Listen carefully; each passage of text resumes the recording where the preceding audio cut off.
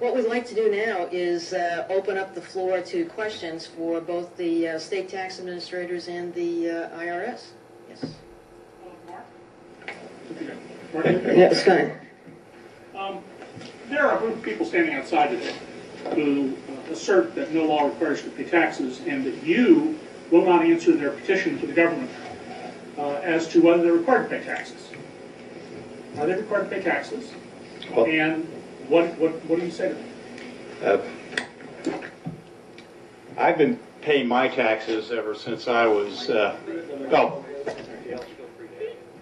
I've been paying my taxes ever since I had my first job, and I think it, it's a, it's a fundamental uh, construct of our nation that, that those of us who um, expect and demand the services from our government that the government provides, be they the protection of our country through the military, or be they uh, the education of our children, or be they the protection of our environment, that, that we must pay for those services.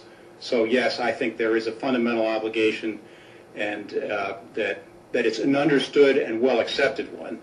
Uh, Yeah. The the fundamental assertion that's being made here is that there's no law that requires you to pay taxes, that people are tricked into paying taxes.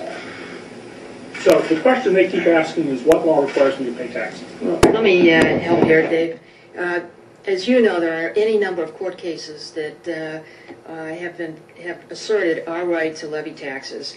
And I would uh, recommend that anybody who has any questions about whether or not they should be paying taxes to go to irs.gov and take a look at the uh, uh, issues that we have there that respond to phony tax schemes, advising people that they don't have an obligation to, to pay taxes. So there's a lot of information out there and a lot of information on our website that should assist anybody that has any question about the legality of taxes. And there's plenty of court cases that support our right to assert and uh, levy taxes under Title 26. Initial questions on the agreement with Okay, the Mark. states, because we have a number of people who've come a long way from this. Yes.